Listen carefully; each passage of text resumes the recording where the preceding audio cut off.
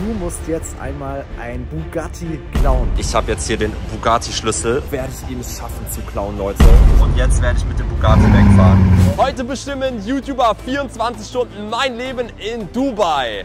So Freunde, und ich würde sagen, wir kommen direkt zur ersten Aufgabe. Die hat mir Clash Games geschickt. Ich gebe dir als Aufgabe, dass du einfach mal mit einem richtigen Jetpack fliegen musst. What?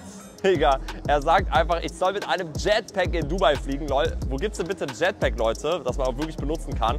Ich würde sagen, ich mache mich jetzt mal auf die Suche, Leute. Mal schauen, ob wir was finden werden. Let's go.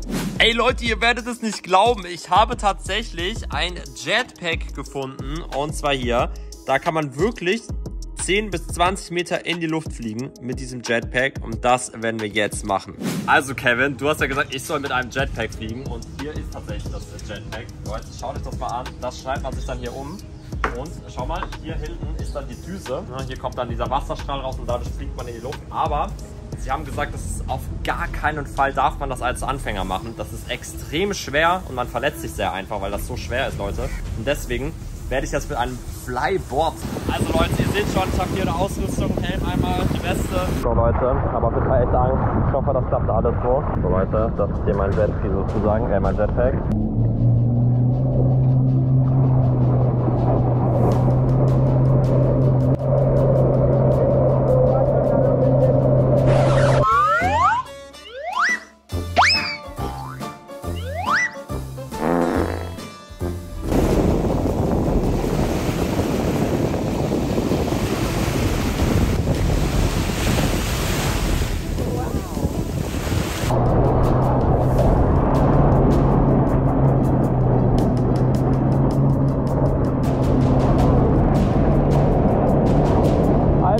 Ich fliege.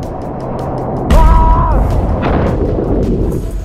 Okay Leute, wir sind jetzt auf jeden Fall zurück im Hotel nach dem Jetpack und die nächste Aufgabe kommt von Marvin, Leute. So, ich würde sagen, die schauen wir uns mal zusammen an. So Lukas, ich darf dir jetzt eine Aufgabe stellen und ich habe mir was Geistkrankes überlegt. Und zwar, du musst jetzt im teuersten Einkaufszentrum der Welt 1000 Euro ausgeben. Was? Digga! Ey, Marvin sagt einfach, ich muss in dem teuersten Einkaufszentrum der Welt 1000 Euro ausgeben. Digga, Marvin, das bist du noch ganz sauber im Kopf, Alter? Oh, das ist so viel Geld. Er meint in der Dubai Mall. Ich würde sagen, da gehen wir jetzt als nächstes hin. Ich mache einfach die Aufgabe, Marvin. Das werde ich dir heimzahlen. Also Leute, ich habe hier eine ultra heftige neue Sorte gefunden von Prime. Die habe ich vorher noch gar nicht gekannt. Die hat so drei verschiedene Farben. Leute, die ersten 10 Euro sind ausgegeben für dieses Prime. Sage euch ehrlich, ich bin unnormal gespannt. Let's go. Mmh. Alter, ist der krank, Mann. LOL. Der hat 10% Kokos. Geistiger Catch, Leute. Lass mal weitergehen. Leute, wir müssen jetzt als nächstes hier richtig viele Süßigkeiten kaufen. Ich nehme einmal hier die Warheads. Ich nehme einmal die riesen Nerds. Die hier nehme ich, die Gobstopper. Fun Dip Sour nehmen wir auch noch. Diese Nerds. Alter, was ist das denn? Digga, das ist einfach eine Schokoladenspritze. Die gönne ich mir sofort danach. Die nehmen wir auch 50, kosten die einfach. Alter, die sehen auch richtig krank äh, aus, sehen die aus. Leute, das kaufen wir uns jetzt auf jeden Fall alles hier. Auf jeden Fall nehmen wir auch noch mal dazu hier. Die Double Drops. Das hier nehmen wir uns auch nochmal Sour Boots. Ich bin so gespannt, wie das gleich schmecken wird. Ihr werdet es gleich sehen. Also Leute, das Ganze kostet auf jeden Fall 232 äh, Dirham sind ungefähr, ich glaube, 80 Euro. Leute, wir sind jetzt in einem der größten Spielwarenladen aller Zeiten, Leute. Der ist äh, mega, mega fett. Und wir werden jetzt hier das nächste Geld ausgeben. Und zwar, man sieht ja schon, hier sind auf jeden Fall richtig viele äh, so Autos und so weiter. Alter, hier ist einfach mal ein Bällebad, Leute. Richtig geil. Und wir suchen jetzt auf jeden Fall mal, mal die nächsten Sachen, für die wir Geld ausgeben können. Alter, schaut euch das mal an hier, Leute. So, Leute, wir sind jetzt bei einem Technikmarkt angekommen tatsächlich. Und hier werden wir jetzt eine GoPro kaufen. So, Leute, ich habe auf jeden Fall die GoPro gefunden. Richtig geil. Und die werde ich mir jetzt einfach mal kaufen. Die kostet ungefähr so 500 Euro. So, Leute, die Kamera ist auf jeden Fall jetzt hier gekauft. So Leute, jetzt haben wir die ganzen Süßigkeiten und ich will als erstes auf jeden Fall mal hier die Schokoladenspritze versuchen, Leute. Mm. Ih, oh, das schmeckt so richtig eklig nach Fake Nutella. Bah. Die will ich nochmal unbedingt testen. Ach Leute, das sind einfach kleine. Ich dachte, das ist so Nerds Müsli oder so. Sour Bombs. Leute, ich würde sagen, wir gönnen uns direkt die ganze Packung. Mmh. Mmh. Alter, das ist genau wie Center Shock, Bro. Super Sour Double Drops. Und das kann man sich sozusagen reinspritzen. Mmh. Alter, das ist geisteskrank sauer. Leute, wir machen schnell weiter mit der nächsten YouTuber-Aufgabe. Die nächste Aufgabe ist übrigens von Max, also von echt so. Grüße gehen raus an ihn, Leute. Er hat mir hier auch eine Aufgabe zugesendet und die schauen wir uns jetzt mal an. Jo Lukas, was geht? Ich bin übrigens ja auch in Dubai. Ich habe eine Aufgabe für dich und zwar sollst du ein geheimes McDonalds-Menü hier in Dubai bestellen. Viel Glück, mal schauen, was drin ist. Bro, was für ein geheimes McDonalds-Menü in Dubai? Was? Okay, Leute, ich muss da erstmal jetzt ganz kurz googeln, was er überhaupt meint. Und äh, ich glaube, wenn es sowas gibt, werde ich es euch jetzt mal zeigen. Also Leute, wir sind jetzt hier bei McDonalds in Dubai äh, wieder mal und wir sollen jetzt das geheime Dubai McDonalds Menü bestellen. Nehmen wir mal hier einen geheimen Dubai Burger, den es nur hier gibt, und zwar den Mushroom Beef. Leute, mit Pilzen ist der. Hier sollen wir jetzt folgendes gleich machen. Pass auf, Large. Wir sollen für das geheime Menü tatsächlich eine normale Sprite nehmen. Das ist ganz wichtig. Genau Leute, hier soll man einen Code eingeben, einen geheimen, und zwar Dubai 999. Wenn man das drückt, Leute, werde jetzt drücken, dann soll man das geheime Dubai-Menü bekommen. Hier wird Error angezeigt, aber das ist ganz normal, das ist quasi trotzdem im System. Und Leute, wir bezahlen jetzt auf jeden Fall hier mit Karte. Und ich zeige euch gleich, was wir bekommen haben. Es ist geisteskrank, wenn es wirklich funktioniert hat. Ey Leute, oh mein Gott, schaut euch mal das an, Digga. Leute, ich habe eigentlich eine Sprite bestellt, aber irgendwie sieht das hier grün aus. Wir öffnen das Ganze mal. Hä? Digga, was ist das? Lol, das ist so grün, Digga. Lol. Leute, schmeckt aber eigentlich genauso wie Sprite, muss ich sagen. Okay, jetzt bin ich aber mal richtig auf den Burger gespannt, weil den gibt es in Deutschland ja auch gar nicht. Schauen wir mal an. Wow! Alter, der ist Gold oben. Digga, der sieht ja total krank aus. Alter, der hat so ein Goldtopping. Guck dir das mal an. Der hat so Sterne und so weiter drauf. Digga, das ist ja unnormal krank. Alter, ist ja krank, Leute. Vor allem dieses Goldtopping oben schmeckt echt übelst krass. Ihr seht auch, das fällt nicht runter, das bleibt so. Keine Ahnung, was das hier war. Bin mir echt nicht sicher. Ich glaube, die machen dann einfach irgendwelche Sachen dazu. Aber wir kommen auf jeden Fall zur nächsten YouTube-Aufgabe. Okay, Freunde, die nächste Aufgabe ist auf jeden Fall jetzt von Jonas. Und ich würde sagen, wir schauen uns die mal an. Let's go. So, Lukas, und zwar gibt es in Dubai das höchste Gebäude der Welt, soweit ich weiß. Und da musst du jetzt mal hingehen. Das ist der Burj Khalifa. Und ja, den gehst du jetzt mal hoch oder besuchst den mal oder ja, mach mal, auf du Bock hast. Viel Spaß. Alter, okay, Jonas hat also gesagt, ich soll beim Burj Khalifa, also das höchste Gebäude der Welt, Leute, da waren wir auch ganz am Anfang des Videos. Wir sollen reingehen ins Gebäude und schauen, was dort drin ist. Ich würde sagen, Leute, wir gehen jetzt mal dorthin. So, Leute, hier kann man jetzt die Tickets kaufen für das Burj Khalifa. So, Leute, ihr seht schon, wir fahren jetzt auf den 154. Stock. Das ist der höchste, den es dort gibt. Und Leute, ich habe dafür bezahlt, Digga, 500 Euro oder so. Jonas, ich sag dir ehrlich, du hast mich richtig hops genommen, Alter. Aber ich will bis zum obersten Stock. Höher geht's nicht, Leute. Dort ist eine richtig krasse Lounge. Man kriegt gratis Essen, gratis Getränke, richtig geile Snacks und so weiter. So Leute, jetzt wurden hier noch ein paar, äh, durch ein paar Kontrollen geführt und jetzt geht es in den Aufzug. Der schnellste Aufzug der Welt, Leute. So Leute, hier sind die ganzen Stockwerke, ihr seht das. Alter, 154 einfach mal. Alter, meine Ohren gehen jetzt schon zu, Leute.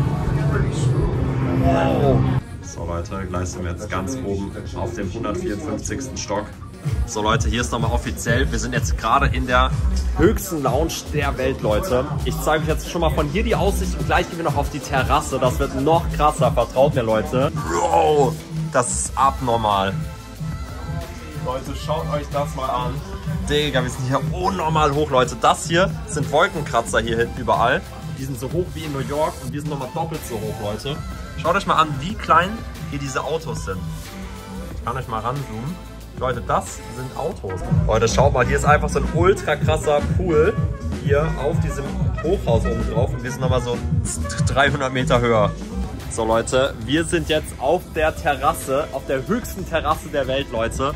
Bro, es ist so krank hoch, es ist unfassbar, Mann. Leute, ihr seht einfach mal Dubai von oben und wir stehen hier auf einer Terrasse, Digga. Das ist geisteskrank heftig, sage ich euch. Hier haben wir übrigens auch richtig viel Gratis-Essen. Und das würde ich sagen, zeige ich euch jetzt mal. Da werden uns nochmal schon richtig äh, vollstopfen, Leute, mit richtig geilen Süßigkeiten. Also Leute, wir sind hier auf der höchsten Toilette der Welt. Auch das hier ist ein Weltrekord. Keine, äh, kein äh, Spaß, Leute. Natürlich außer im Flugzeug, ne? Aber die höchste Toilette feststehend der Welt. Hier gehen wir jetzt mal kurz aufs Klo. Bis gleich.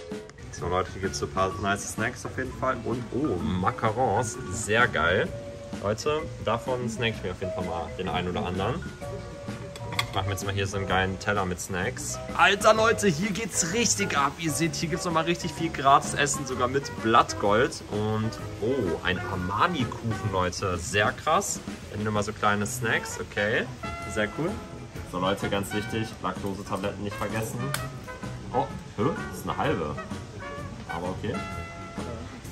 So Leute, hier nochmal ein Apfelsaft. Übrigens, Jonas ist auch ein riesiger Apfelsaft-Fan, deswegen habe ich mir extra einen Apfelsaft für dich geholt, Jonas. Und ich würde sagen, Leute, erstmal die, das Armani-Törchen probieren wir jetzt mal.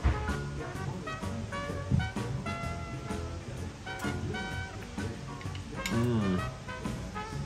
Und nochmal den Macaron hinterher. Sehr lecker, Leute. Ich würde sagen, wir schauen uns jetzt mal die nächste Aufgabe vom nächsten YouTuber an. So Leute, wir sind hier immer noch wie gesagt oben und jetzt schauen wir von Lumex uns die nächste Aufgabe an. So Lukas, meine Aufgabe für dein Video lautet, dass du dir bitte einmal einen Jetski ausleihst und mit diesem musst du ganze 100 km schnell fahren. Ich wünsche dir ganz viel Spaß dabei. Let's go! Alter, 100 km/h mit einem Jetski fahren. Alter, das ist unnormal schnell. Leute, ich würde sagen, ihr seht ganz da hinten ist das Meer. Das heißt, wir fahren jetzt als nächstes da hinten zum Meer und fahren 100 km/h mit einem Jetski. Also Freunde, als nächstes geht es jetzt hier zum Jetski. Lumex, ne? Du kleiner Bengel, ey. 100 km/h muss ich jetzt damit fahren, Leute.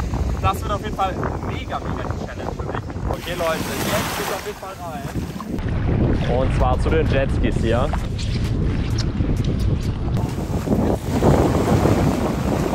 So Leute, es geht los. Alter Leute, ihr seht schon, also in MPH steht das, also nicht äh, in Kilometer pro Stunde. Alter, ist das krass, Junge. Oh mein Gott, Leute!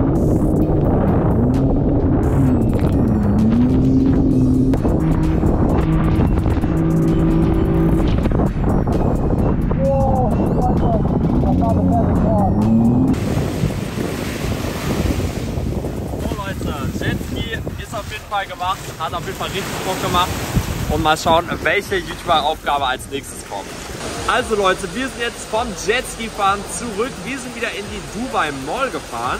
Und zwar ist die nächste Aufgabe hier von Pat, Leute. Der gute alte Pat. Also Lukas, meine Aufgabe an dich lautet, du schnappst dir einen Quad und fährst damit in Dubai in der Wüste herum. Oh mein Gott, Pat, jetzt muss ich zwei oder drei Stunden fahren in die Wüste und dort mir ein Quad ausleihen, Digga. Eine Ewigkeit später. So Leute, jetzt geht es los. Ihr seht schon, wie ich hier aussehe. Und zwar geht es jetzt hier auf dieses Quad. So Leute, let's go. Alter, let's go. So Leute, wir sind jetzt hier auf dem Quad in der Wüste am Start. Und Leute, meine Freundin ist tatsächlich äh, irgendwie weiter hinten steckt irgendwie fest, Leute. Alter, man muss hier echt eh richtig aufpassen wegen dem Sand, Leute. Das ist echt geisteskrank. So Leute, wir sind jetzt hier angekommen auf der höchsten Düne in Dubai, Leute. Ihr seht es hier. Bro, ey, das macht richtig Spaß, muss ich sagen. Aber es ist auf jeden Fall auch sehr anstrengend, Leute. Aber ultra krass. Schaut euch das mal an, Leute. Let's go. Oh mein Gott. Alter, was?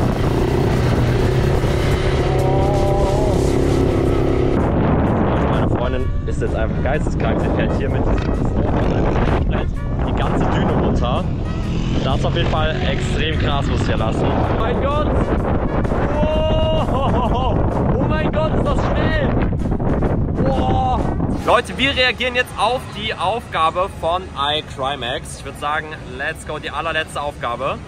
So Lukas, ich habe auf jeden Fall auch eine richtig krasse Aufgabe für dich und zwar, ich möchte, dass du ein bisschen GTA Real Life machst und zwar... Ey, warte mal, GTA in Real Life, was kommt jetzt? Du musst jetzt einmal ein Bugatti klauen. Hä? Ein was? Digga, das kann ich doch nicht machen, Max. Oh mein Gott, ist das ein Ernst? Ja, 3,4 Millionen Dollar kostet das Ding. Viel Spaß damit und lass dich nicht von der Polizei erwischen. Bro, ein Bugatti-Clown. Ey, oh mein Gott, das ist wirklich GTA in Real Life. Ey Leute, ich muss jetzt erstmal überlegen, wie ich das Ganze machen werde am schlausten. Und äh, ihr werdet jetzt sehen, wo, also wofür ich mich entschieden habe. Max, du bist echt richtig krass. Leute, wir sind immer noch am Burj Khalifa. Richtig, richtig krass, Mann. Also Leute, für die Aufgabe von Max sind wir jetzt vor dem Laden First Motors in Dubai, Leute. Alter, hier gibt es die krassesten Autos, die ihr jemals gesehen habt. Kommt einfach mal mit, ich sag's euch, Leute. Ich sage euch ehrlich, das, was ihr hier seht, habt ihr noch nie in eurem Leben jemals gesehen, Leute. Okay, Leute, die Türen haben sich auf jeden Fall geöffnet hier. Also, Leute, ihr seht schon, wir haben hier extrem viele Sportwagen am Start, Leute. Wir haben nicht nur mehrere Bugattis hier, Leute, ne, für die Aufgabe natürlich auch entscheidend. Wir haben zum Beispiel diesen Bugatti Chiron am Start, Leute, geisteskrank heftig. Der kostet einfach mal, vielleicht steht der Preis sogar dran, es ist einer von 60, Leute. Bugatti Chiron ist äh, Toursport. Alter, Digga, die kosten über 5 Millionen, Leute. Dann haben wir hier zum Beispiel nochmal einen richtig kranken Wagen. Das ist natürlich kein äh, Bugatti, sondern Pagani. Und Leute, hier haben wir den nächsten Bugatti, Leute. Nummer 2. Ihr seht es, ey, ich habe noch nie so nah an einem Bugatti in echt gestanden, Leute. Hier haben wir den nächsten Bugatti, Leute. Und dahinter haben wir noch einen Bugatti. Bro, und schaut euch mal diese kranken Lambos an. Solche Lambos gibt es eigentlich nur in GTA, Leute. Der ist sogar verkauft, ihr seht es. Dann haben wir zum Beispiel auch noch hier diesen Lambo. Der ist auch verkauft. Ey, das ist für mich der krasseste Wagen, glaube ich, hier in diesem ganzen Laden. Aber ich würde sagen, wir müssen jetzt auf jeden Fall mal den Schlüssel noch hier holen, Leute, um in den Bugatti zu kommen. Mal schauen, ob es klappen wird. So Leute, so sieht der Bugatti nochmal hier von außen aus. Alter, ist das krank. Leute, schaut euch das mal an, wie krank der aussieht, Leute. Der kostet 5 Millionen Euro. Oh mein Gott, Leute, ich habe jetzt hier den Bugatti-Schlüssel. Und die Frage ist natürlich jetzt, werde ich ihn schaffen zu klauen, Leute? Ja oder nein? Ich würde sagen, wir gehen jetzt rein in den Wagen. Let's go. Max, ich muss dich schon mal enttäuschen. Also klauen kann ich den wahrscheinlich nicht, aber Leute, ich darf mich reinsetzen. Oh mein Gott, Leute. Wir hängen jetzt mal hier dran. So, ich habe einfach ich habe einfach den Weg zum Bugatti geöffnet. Ey Leute, ich sage euch ehrlich, ich bin so krass aufgeregt. Oh mein Gott, wir, wir öffnen zusammen. Okay, ist er offen? Ich hoffe, Leute, er ist offen. Wir gucken mal. Oh mein Gott, Leute. Der Bugatti ist offen. Mach mal mit. Lukas, Oh ich, ich traue mich nicht. Oh mein Gott, Leute, meine Freundin traut sich gerade nicht. Der Wagen ist so teuer. Leute, der Wagen ist so teuer, der kostet über 5 Millionen. Schau mal, in, schau mal rein. Oh mein Gott. Leute, ich werde mich jetzt hier in diesen Bugatti setzen, aber ich werde nicht wegfahren, Max. Es tut mir leid, das schaffe ich einfach nicht. Oh mein Gott, ey, das ist, ich bin so aufgeregt. Ich will nichts kaputt machen, Leute. Okay. Boah. Okay. Oh mein Gott, was machst du da? Oh mein Gott. Ey Leute, wenn ich, sobald ich drin sitze, nehme ich das Handy und zeig's euch. Alter, ich will so vorsichtig sein.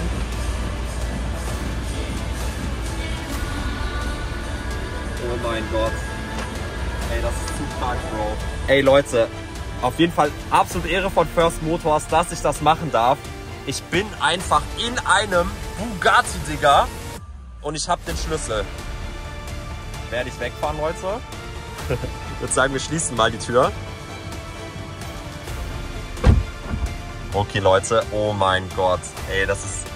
Alter, ist das krank. Ich bin richtig aufgeregt, Leute. Alter, sieht das krank aus, Digga. Und jetzt werde ich mit dem Bugatti wegfahren.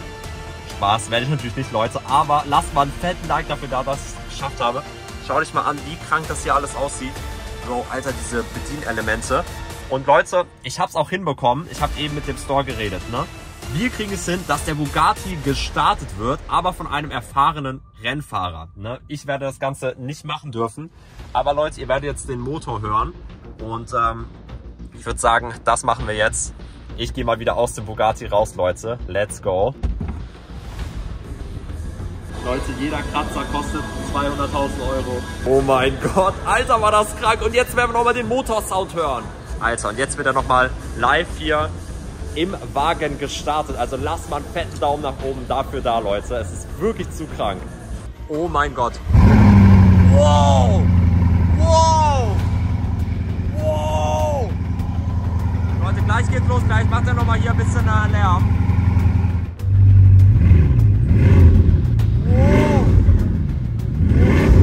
Oh mein Gott! Alter! Das ist einfach mal geisteskrank. Und damit, Leute, hoffe ich auf jeden Fall, euch hat das Video gefallen. Lasst mal einen fetten Like da, kostet das Abo, ihr wisst Bescheid. Bis dann, ciao, ciao.